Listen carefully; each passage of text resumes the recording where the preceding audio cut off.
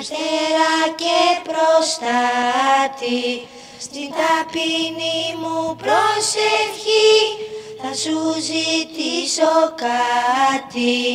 Για αυτόν που έχουμε άρχοντα Στον τόπο πέρα ως πέρα Αφέντη παντοδύναμο Προστάτη και πατέρα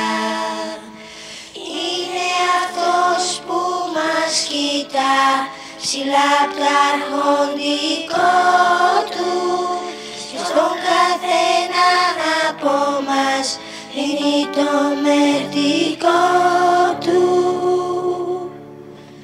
Δίνει το μερτικό του. Μ' αυτόν καταργηθήκανε η πονηριά και ο δόλος και στα δικά του χτήματα δουλεύει ο κόσμος όλος. Δίνει ψωμί στα αδέρια μας στους κάμπους στο νεράκι στα πλούσια κάθε ζωντανό και σπόρους στο πουλάκι